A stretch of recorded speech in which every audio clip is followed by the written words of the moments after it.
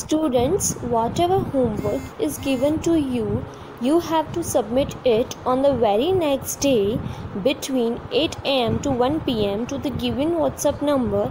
and it is compulsory to submit your homework as your attendance will be marked on the basis of your submission.